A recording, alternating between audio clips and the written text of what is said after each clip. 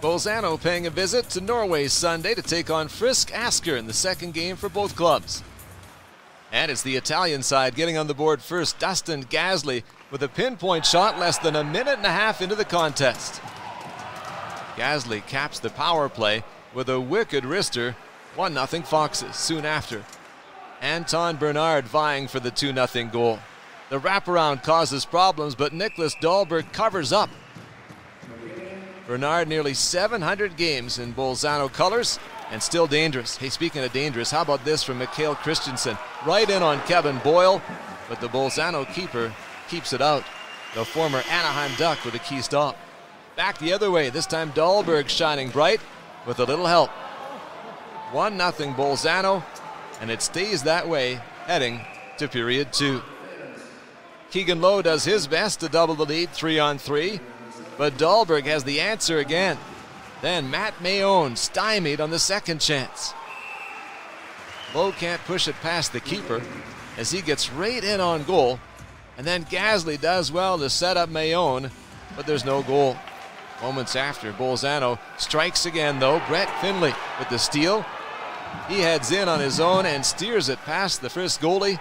It's 2 0. Another key goal for Findlay. He had the shootout winner in Poland on Friday, and he scores in Norway Sunday. Frisk with plenty of power play time the second period. They convert here. Christensen rips in the Mats Frushaug pass, and it's a one goal contest. This is just a well worked man advantage, and Christensen takes care of the finishing touch. Still in the second.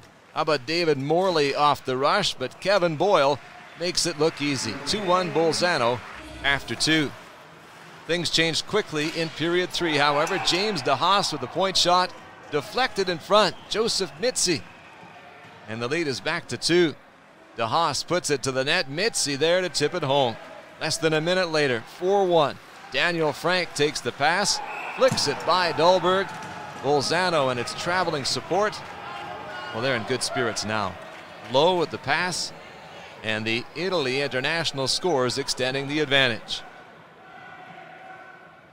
One more before the Foxes would head for home. Long lead pass to Gazley with some rough stuff in the rearview mirror. And then Gazley finds Simone Pitschieler right there, 5 1. Nothing Dahlberg can do. Bolzano well on their way to the full three points.